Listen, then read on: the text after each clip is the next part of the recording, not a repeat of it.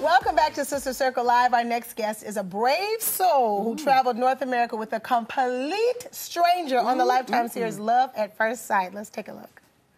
Because I mean, I feel like you could really make anything work, but it's it's literally both people like compromising.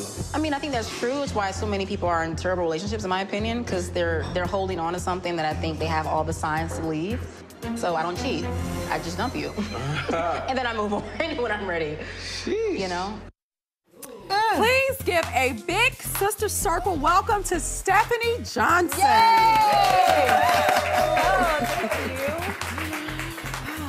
Hey, girl, hey. Hello, good morning. Thanks for having me. Thank you for coming How are you, dear? So much. on this Thank purple you. pillow. There you are. Now, I, I made a mistake. I said love at first sight because I. you Yes, know, I was like, oh my- But I was thinking it's first flight. It's love at first flight. Yes, love at first flight. Oh my God. What? How? First of all, did you No say yes to this? But what is your okay? So explain to us what your dating history has been Yes. like. Okay. So I'm 31 years old. Okay. Um, I take dating very seriously. Um, trying to date with a purpose. So I've Yeah. only been in three significant uh, dating relationships. Okay. Um, Cassie reached out to me through Instagram, you know, social Uh-huh. media through Instagram, and I took a look at it. and I'm like, it's season one. It might not even happen. Why not? You know, Mm-hmm. Right. on a whim. And here we are today. Show Here is done, are. completed, and Wow. yeah. Fun, What- fun, fun. What was the process of being chosen for Love at First Yeah. Um, so I guess casting reached out. We go to LA. We have to meet with therapists, Mm-hmm. a personality test, really extensive. I mean, two or three hours of trying to find out who you are. And we would have to go through therapy. And we met with a psychologist. And they go through pretty much every part of your life. Mm-hmm. Do to they try to tap into your childhood? They do. I mean, they ask a bunch of questions. So as long as you're honest, they have they have to go off what you've given them.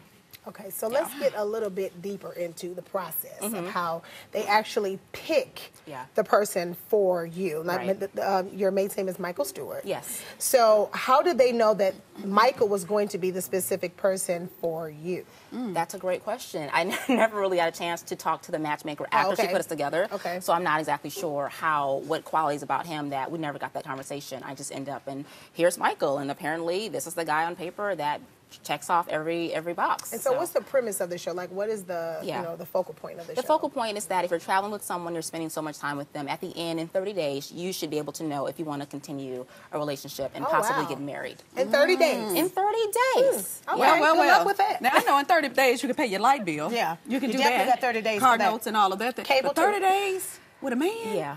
Yeah. it's- Oh, that's deep and dangerous. It's, it's Very. very, dangerous and, Yeah. and, and very, yeah, so there's a lot going on. Well, you are now the founder of a new business called Single in the City, Yes. which definitely promotes well-rounded singles. Tell us a little bit about that. Yeah, so we've been in business for years, and I mm-hmm. just feel it's my duty to help single people become more self-aware. Mm-hmm. Um, we've got a lot of dating apps, we've got matchmaking, we've got all these different things going on, and at the end of the day, they come to me and they're like, "Okay, you're, you're still single, you're still got all these pockets that haven't been touched because you're mm-hmm. not a healthy person, and you're just Right. reaching out to all these different outlets." So I have events that cultivate healthy dating life with therapists and all sorts of great things just to make singles become more- more well-rounded and self-aware.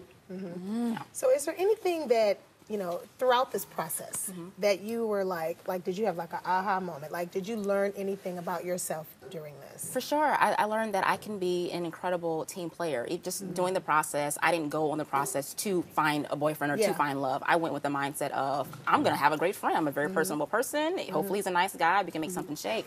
Um, but to come out and not know someone, something can happen. popping, right. Something can happen. You know, it's really going to be friends. Mm-hmm. Um, so to come out and have met a complete stranger on someone that I would never picked in a lineup and to have such an amazing friendship from that, Mm-hmm. I learned that I'm flexible and that, you know, if you have the right teammate, anything's possible. So Mm-hmm. it was good. So you've traveled a lot. You Yeah. know, what's one of your favorite places that you've traveled with Michael? And how did that first trip go?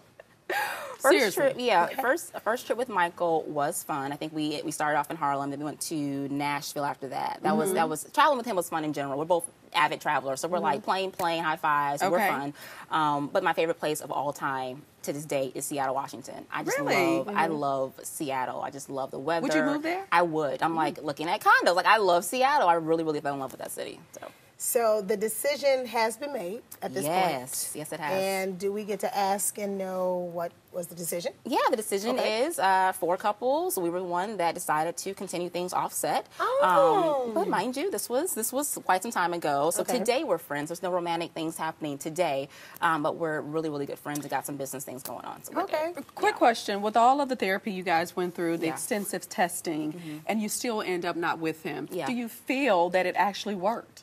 I do because I went with the mindset of finding a great friend, of, of just being open minded. A friend. You Yeah. were not really I wasn't, going in like, to go- 'cause find I don't believe. I, your I just, I husband. just don't. You Okay. didn't believe in that anyway. Okay. with my, I mean, it doesn't Right. make I sense. mean, you know, well, it doesn't just make, yeah, like 30 days, there's no way. No 30 days, can I see if I want to date you? For sure. I think that's a, that's a great, you know, Mm-hmm. yeah, but, but no, I, I, I can't do a 30 day marriage. I hear you, girl. Thir- It's people that's together 30 years and still guessing. I just said what I had to say at the table.